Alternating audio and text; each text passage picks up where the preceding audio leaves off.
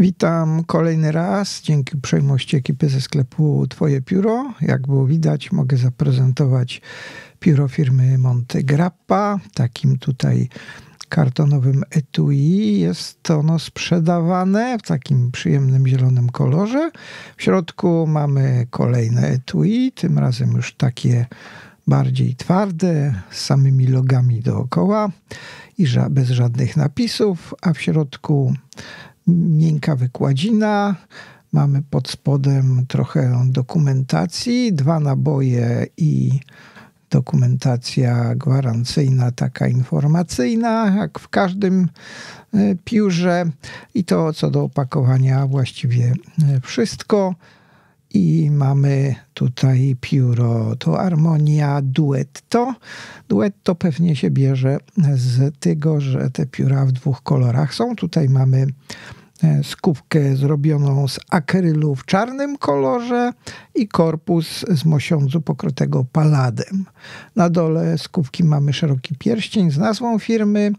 Oczywiście klips, e, dość twardy, ale da się go odgiąć także będzie dobrze trzymał. Płaskie wykończenie skówki i jeszcze jedne logo widzimy na górze, natomiast korpus jest z takimi żłobieniami, bardzo ładnie się prezentującymi i także z płaskim wykończeniem.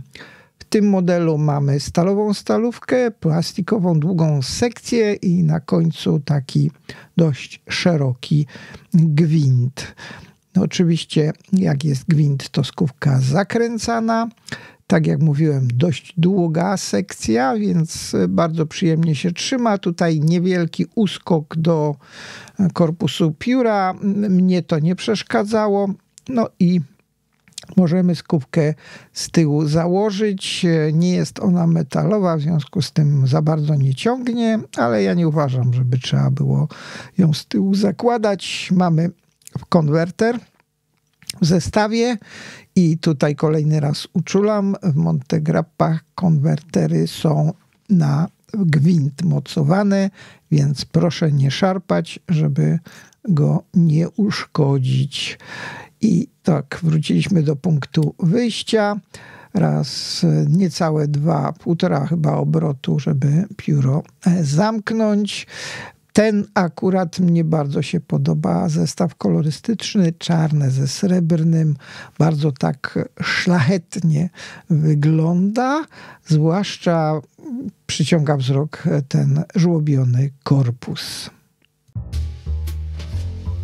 Czas na wymiary. Parker Duofold Centennial, Sonet, Lamel Stary Pelikan 140. Zamknięta Harmonia ma e, długość Duofolda, a bez skówki ciut krótsza niż Sonet, czyli ma 13,7 mm długości z założonym, założoną skówką, natomiast bez skówki 12 cm i 2 mm długości.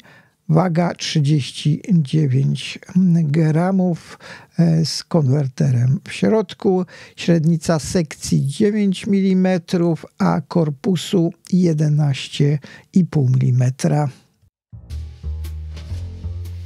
No i tradycyjna próbka pisma, stalówka grubości F, dobry przepływ, nic tu e, nie przeszkadza, bez nacisku także atrament podaje bardzo dobrze.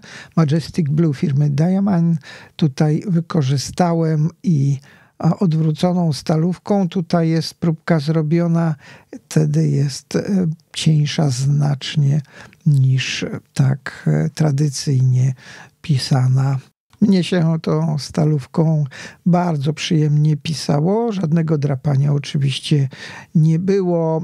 Pióro świetnie leży w ręce i tak jak już mówiłem, zwłaszcza ten korpus wizualnie atrakcyjnie przyciąga wzrok i na pewno jest to mocna pozycja w katalogu Monte Grappy i godna polecenia. Dziękuję za uwagę, do usłyszenia.